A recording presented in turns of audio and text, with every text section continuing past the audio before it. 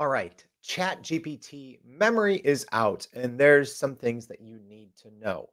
Uh, will this help you get way better and more personalized results out of ChatGPT?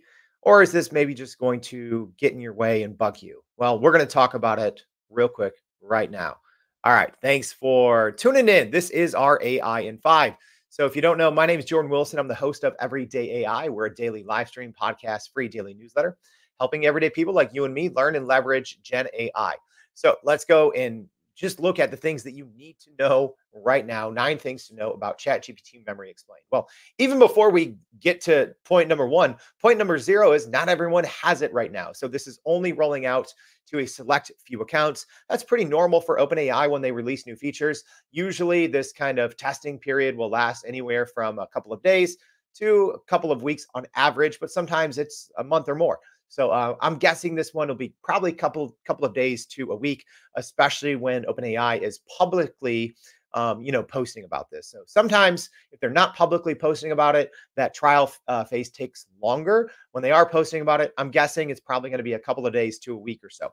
Uh, so if you want to check if you have access, number one thing you need to know is go into your settings, look under personalization. So if you have personalization with a memory toggle, that means you are one of the few users that has it. So right now they are testing this with both free and paid users. When this rolls out, uh, OpenAI didn't really say if this is going to be available to free and paid users in the long run, but right now both uh, sets uh, do have access in the testing phase. All right, so that's number one. Number two, you can manage your memory. All right, so uh, at any time you can go in and click the manage button and you can add or like I'm saying here in number three is you can um, you can delete. So there is the option right there in managing your memory to delete uh, everything. You can like you know hitting a hard reset on ChatGPT's memory, or number four, you can delete individual memories. So uh, if ChatGPT is picking up on something, or if you add something in there uh, that you maybe don't want anymore, you can delete it. So if it's screwing up your output. Uh, you can just delete them all individually, or like I showed you previously, you can just uh, manage the whole thing and clear everything. Okay, so you can also chat with no memory. So uh, I'm going to show you eh, uh, here in a second, but you can essentially tell ChatGPT to remember anything, or sometimes it picks up on it on its own. You, know, there might be certain details you might not want. So if you're using ChatGPT as an example for both personal and work reasons, maybe it picks up something in your personal life and you're using it for work reasons, you might not want there, uh, or you might not want that. So uh, once you do have access to this uh, to this feature, um, when you hover over to select a mode, there should be a new mode called temporary chat. What we don't know right now is what mode uh, that chat actually is. Presumably, it's going to be the GPT-4 default mode. Uh, I don't know if, as an example, you can do a temporary chat in plugins mode. Um, I'm guessing maybe not, but we'll have to wait and see till when more people have it and we can do some testing. Number six thing to know. So a user uh, testing catalog uh, shared this on Twitter, uh, but uh, they were the only person that maybe had access to this or showed a screenshot, anyways. But when you build your own GPT, uh, you should have the option to enable uh, or disable memory. So if you are building a lot of your own custom GPTs, and you may want uh, when someone's using those custom GPTs to remember and to put kind of um, that uh, information into the chat GPT memory bank, uh, you can either enable it or disable it per each GPT that you build. Uh, all right. Number seven, you can simply ask Chat GPT to remember. So people are wondering, like, oh, how does this work? Well, when you're talking um, and maybe something important, you type to Chat GPT and you're like, oh man, I have to keep typing this over and over and over. Uh, so let me, it, you can just tell Chat GPT, you can explicitly tell it to remember um, and tell it not to forget something. So you can just do that conversationally or in the settings. Uh, another thing to keep in mind, number eight, sometimes ChatGPT will just start remembering things on its own, which I think is both good and bad.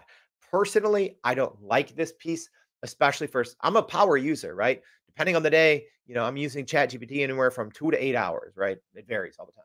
Uh, but there's going to be a lot of things that I maybe don't want ChatGPT to pick up, right? If I'm working on a variety of projects for a variety of different reasons, both personally, professionally, creatively, I might not want ChatGPT to pick up all those things because uh, I think for power users who use ChatGPT a lot, it's actually going to require a lot of cleanup. You just might not want ChatGPT to remember certain things.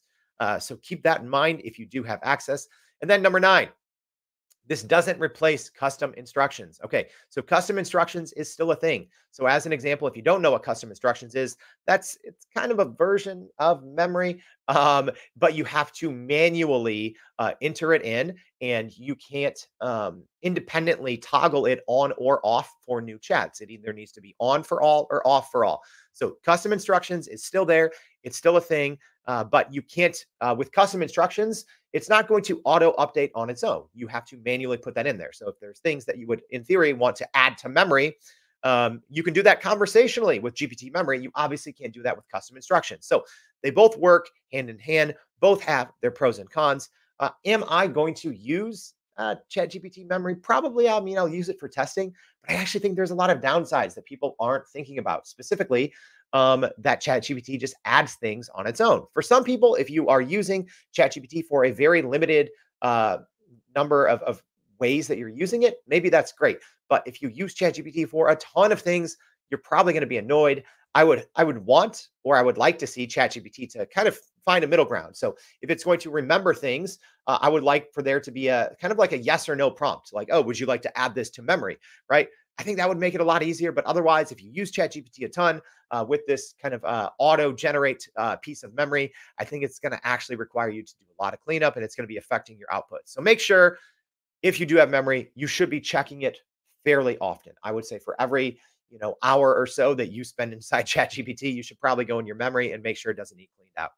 All right, I hope this is helpful. If so, go to youreverydayai.com, sign up for the free daily newsletter. Please also subscribe to this channel. That would be great. And but also, I tell people our website is like a free generative AI university. Yes, those podcasts are just me, but we probably have at least 50 podcasts and live streams that you can watch and listen to. I talk with other experts from all over the country how they're using Chat GPT and they're using uh, generative AI to grow their company, grow their careers. So check that out on youreverydayai.com. Click those AI learning tracks and join us for another AI in five. Thanks, y'all.